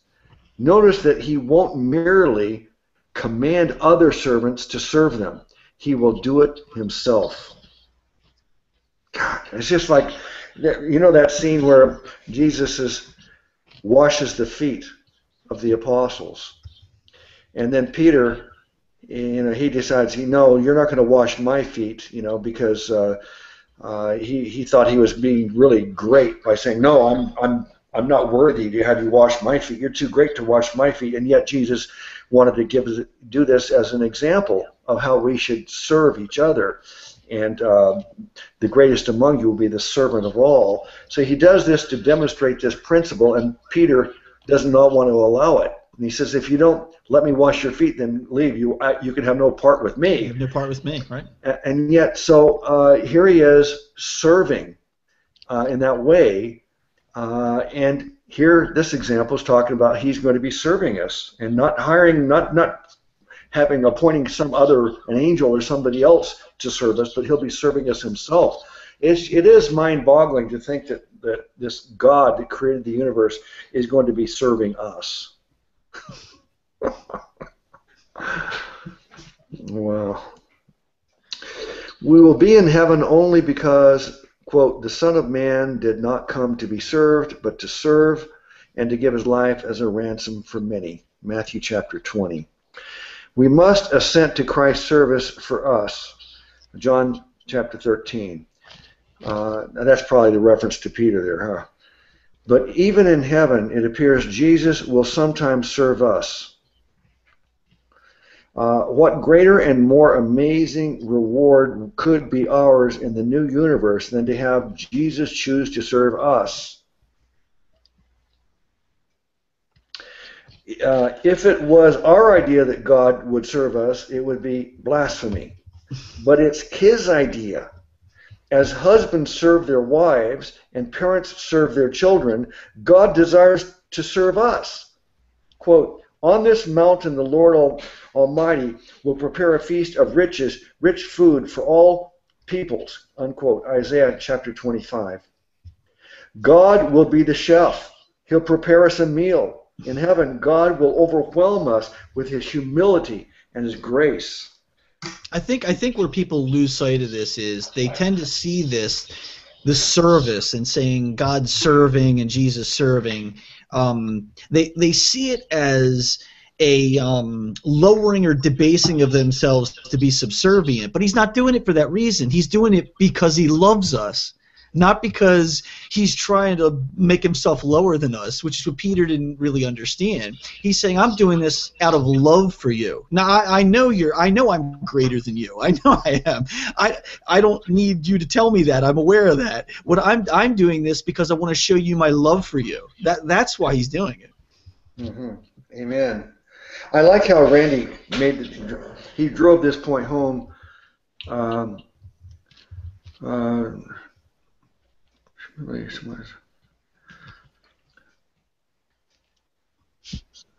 oh yeah, he says uh, um, it's his idea. As husbands serve their wives and parents serve their children, God desires to serve us. I can identify with that. Right. I mean, obviously, uh, I there's no. Um, it's a wonderful thing to be able to serve your wife and your children and your friends and the people that you love and care about. It's a. It's not like a uh, uh, burdensome thing. It's a pleasure that you can do something for them. Right. Exactly. That's exactly that's exactly what I was saying, and people tend to tend to see it the other way, but that's not it. It's it's something done out of love. You know, it's it's something done out of the fact that we want to see for, it's like for instance it's like our concept of you know christmas time we we give you know we go out of our way to give other people things. Why? Because we want to see that look on their face. We want to see that we want to see that smile that that response of thank you so much for doing this for me. You know that, that's that's what we that's what we want to do it for. That's what he does it for. Mm-hmm. Uh, both God the Father and God the Son are portrayed as reigning on thrones in heaven. But what will be the Holy Spirit's role? The answer isn't spelled out in detail, but we can surmise that he'll be involved in creating the new heavens and the new earth. Uh, he may continue to indwell believers, Uh, he'll empower us to rule wisely with Christ. He may still move our hearts to glorify and worship the Father and the Son. He'll continue forever as their companion in the triune Godhead. That is an interesting question. What is the Holy Spirit's role in eternity? Um, if you had the opportunity to spend the evening with any person who's ever lived, whom would you choose? Probably someone fascinating, knowledgeable, and accomplished. High on my list would be C.S. Lewis, A.W. Tozer, Jonathan Edwards, Hudson Taylor, and Charles Spurgeon. Or how about Ruth, David, Mary, Paul, or Adam and Eve? I'd enjoy meeting Eric Liddell, the great runner and Christ follower portrayed in Chariots of Fire. Perhaps you'd choose someone beautiful and talented. Maybe you'd hope that at the end of the evening he or she would have enjoyed your company enough to want to spend time with you again. Is Jesus the first person you would choose? Who is more beautiful, talented, knowledgeable, fascinating, and interesting than he? The good news is he chose you. If you're a Christian, You'll be with him for eternity and enjoy endless fascinating conversations and experiences. Incredibly, he'll also enjoy your company and mine. After all, he paid the ultimate price just so he could have us over to his place for eternity. Most of us would love to spend the evening with a great author, musician, artist, or head of state. God is the master artist who created the universe, the inventor of music, the author and main character of the unfolding drama of redemption. Head of state, he's the king of the entire universe. Yet if someone says, I want to go to heaven to be with God forever, others wonder, wouldn't that be boring? what are we what are we thinking? The very qualities we admire in others, every one of them are true of God. He's the source of everything we find fascinating. Who made Bach, Beethoven, and Mozart? Who gave them their gifts? Who created their music? Uh, who created music itself and the ability to perform it? All that is admirable and fascinating in human beings come from their creator. That is a really an amazing point that he makes here is that when you think of all the people that you find interesting that and talents that you value, and yet they all of that is is comes God is the source of it all. Mm-hmm.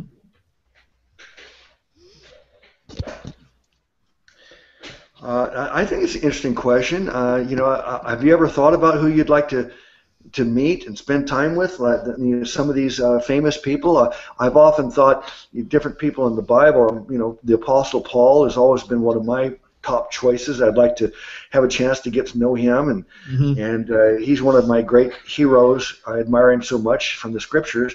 And yet, when we think of people, well, why would we not immediately make Jesus our first uh, automatic automatic thought? Would be with him.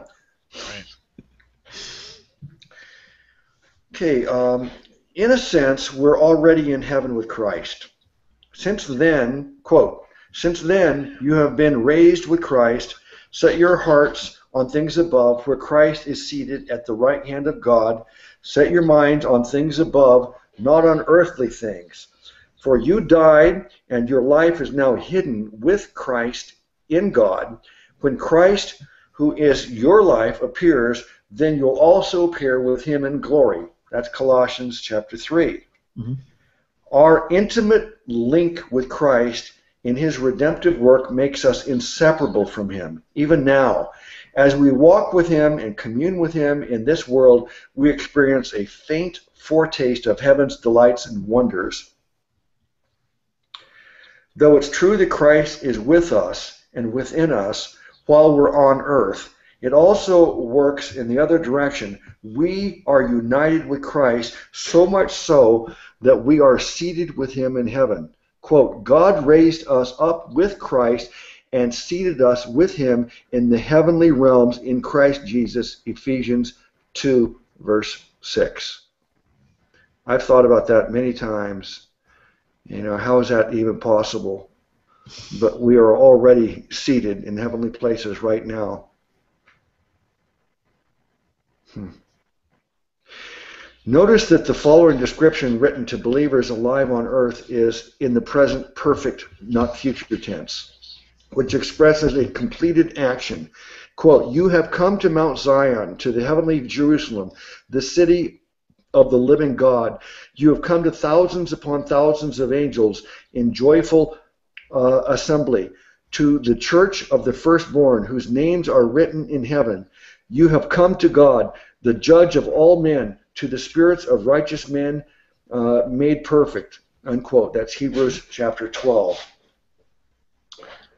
In a metaphysical sense, we've already entered into, uh, already entered heaven's community. By seeing ourselves as part of the heavenly society, we can learn to rejoice now in what heaven's residents rejoice in. They rejoice in God, His glory, His grace, and beauty. They rejoice in repentant sinners, the saints' faithfulness and Christlikeness, and the beauty of God's creation.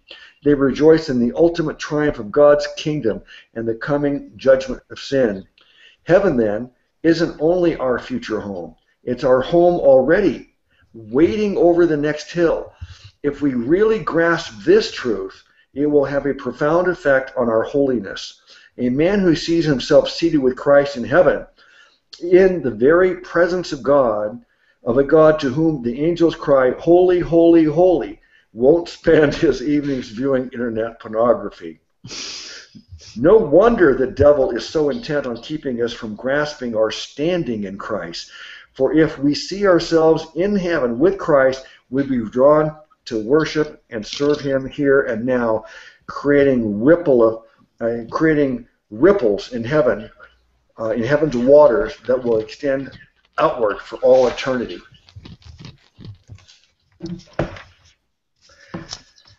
That is an uh, amazing concept. I've often tried to comprehend it. I don't think I don't think I really get it completely.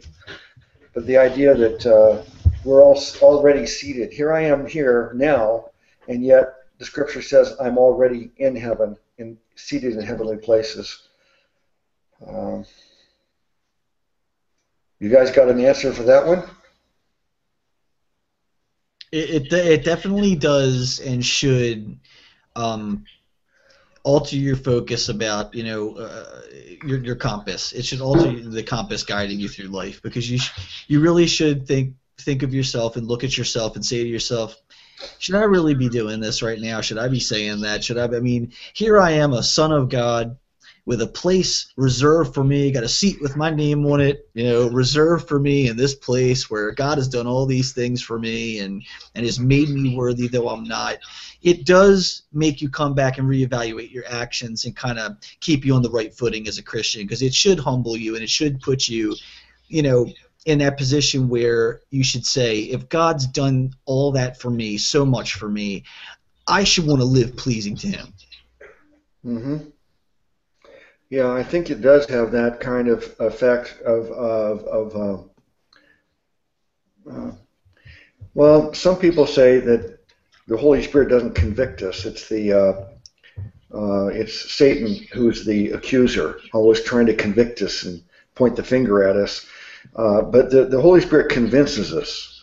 It convinces us of the truth of our situation, and uh, and so uh, I think the Spirit is prompting us and making us aware and putting it all in perspective in this example of if we can keep in mind that we're already in heavenly places and that uh, uh, we are much more likely to uh, to do things, live our lives in a way that uh, you know are, are, is an example for others and, and that is pleasing to our Savior.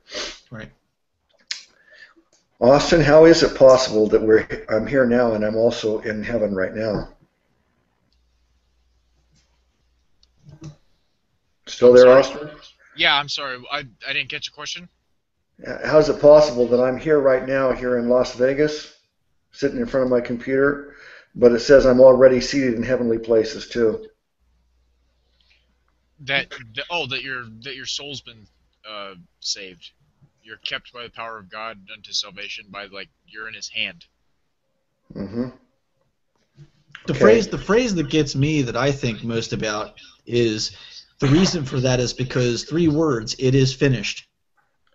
You know when when when Christ says it is finished, it's a done deal. That's why you can say that about yourself that though you you know yourself better than anybody else, you know your failings better than anybody else, but to have that seat there already done, I'm already sitting there, it's because of his words it is finished. Mhm.